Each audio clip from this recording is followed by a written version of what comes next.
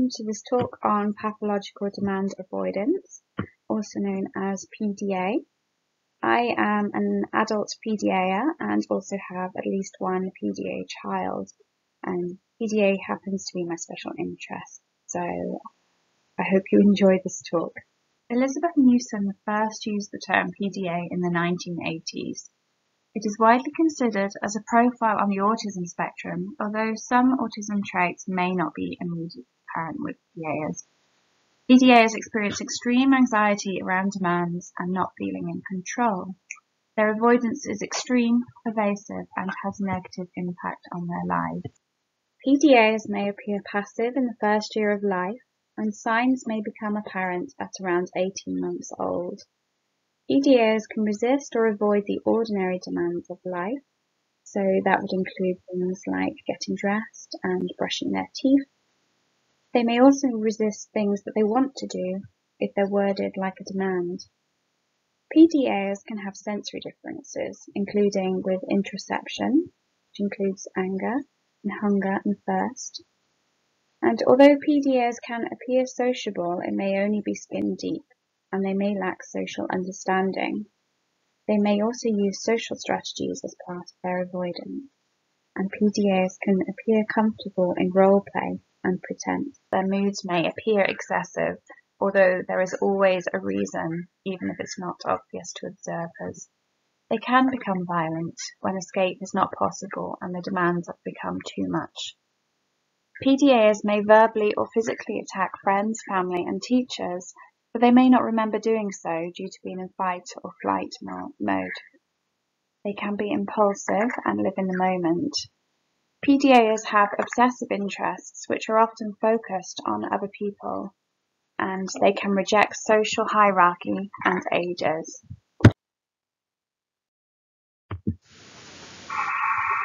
PDAs are always anxious and spend their lives teetering on the edge. They can live with a constant sense of dread. A PDA's need for autonomy is driven by anxiety, and PDA demand avoidance isn't a choice, it's not fun. PDAs are focused on their own trajectory, and demands not related to their trajectory can seem unimportant to them. Demands are everywhere and fluid, they change all the time, which may make the PDA hypervigilant to avoid demands. Even bodily sensations can be demands such as hunger, thirst, and needing to use the toilet. Control of the PDA kind is frequently described as an anxiety-driven need to be in control. PDAs need, not want, need autonomy. If they feel out of control, their anxiety levels will increase and they may go seemingly extreme measures to get it back. In contrast, if a PDA has freedom, they may have little need for autonomy. If you're interested in PDA, then Harry Thompson is an adult PDA and he's really worth following on social media. He has a lot of insight into PDA. He talks about the locus of control. So in a loving home, there is safety and they know that the parents will not abandon them. And this can mean that families can sometimes become targets of physical and verbal abuse. The PDA child knows they will not be rejected or abandoned by their parents. It may change in school. In the absence of unconditional love and when faced with uncertainty, behaviour may present differently. They may fawn by meeting others' needs and not avoiding demands, in order to survive and avoid rejection. However, not avoiding demands can come at a cost, and this cost is high anxiety and it can lead to mental health issues. Other PDAs avoid demands at school, which can result in placement breakdown. The number of demands get too much for a PDA, they may have a meltdown. Meltdown should be perceived and managed like panic attacks. The PDA is likely to be highly anxious and distressed. Meltdowns may seem extreme to the observer, and they may seem to come out of nowhere, but there is always a reason. The trigger may be hard to see in the moment, so you can wait until after the meltdown has calmed and then backtrack to try and find the triggers. It may be that many little triggers have added up to cause a meltdown over something seemingly insignificant. PDAs will not have cognitive control of their actions when they're in the midst of a meltdown. They may say and do things that they later regret. Try not to take offence and don't dwell on it. Move on. After a meltdown, the PDA may feel overwhelming remorse and guilt, although they may find this difficult to express. Do not use ABA with PDAs, as it's unlikely to end well.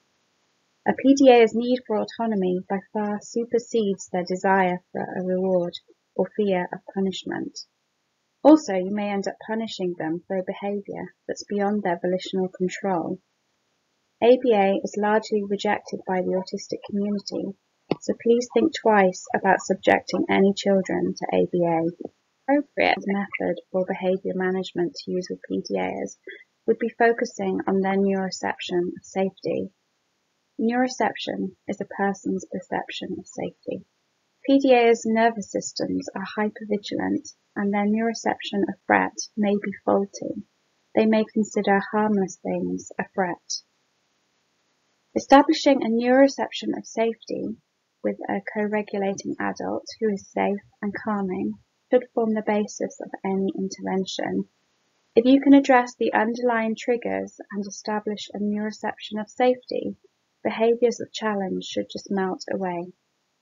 Check out Beyond Behaviors by Mona Delahooke to learn about how to use brain science, safety, and compassion to help children with behavior that challenges. This approach has been used with um, one of our PDA sons and it has really been transformational. So I do recommend you check out. So focus on building trust and relationship. This really is critical Ensure that a PDA has a co-regulating person to support them. Don't hide who you are as a person behind your role or your status. Authority figures such as teachers or police may be met with avoidance. PDAs need to connect with you on a human level. Work with the PDA and not against them. Collaborate with them rather than force them to comply. Show kindness, compassion and flexibility and try to understand their neurology and be an advocate for them. Traditional behavioral strategies may not work for PDAs. In fact, they could do more harm than good. Collaborate with them rather than dictate what they should be doing. Kids do well if they can, and if they're not behaving well, there's a reason for it. So shift your focus away from their externalized behavior and instead work together to determine the triggers and to solve the problems. Learn to recognize when a PDA is becoming overwhelmed and allow them plenty of time to regulate. This may be by stimming or engaging in their special interests. Check out Collaborative Proactive Solutions by Ross Greene. This is another fantastic book which teaches you how, teaches you how to work with the child to come up with solutions to problems.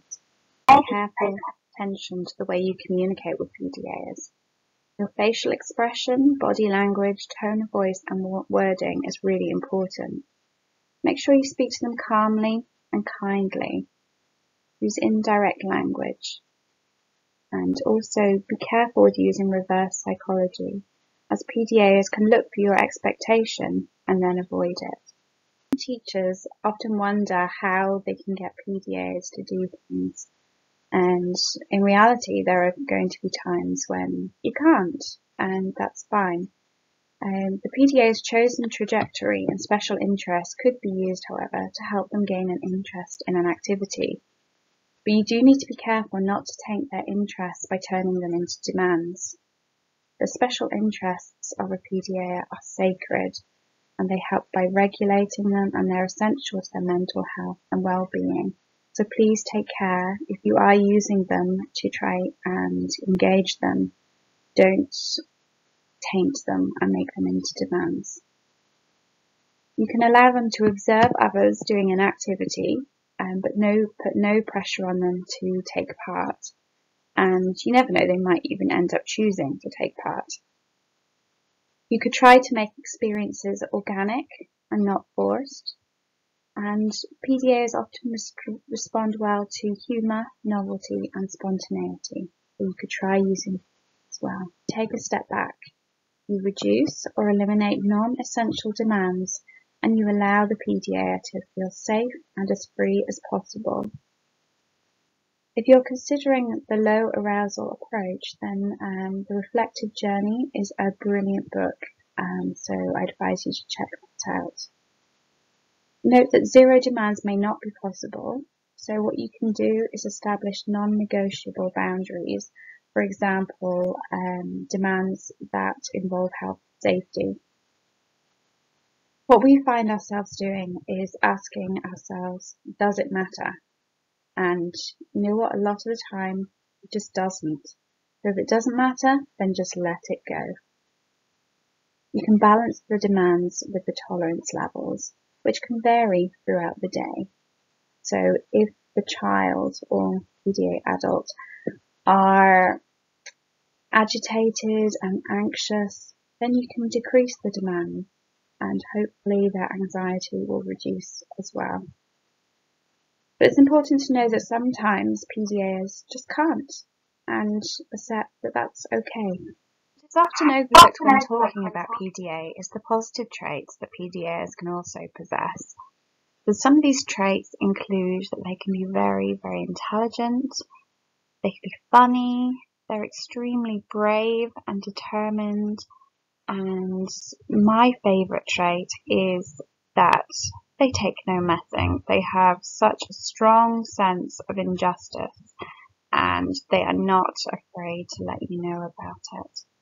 Um, this can make brilliant friends. Um, they can they can defend their friends, and they will, without doubt, make this world a much better place and a much fairer place.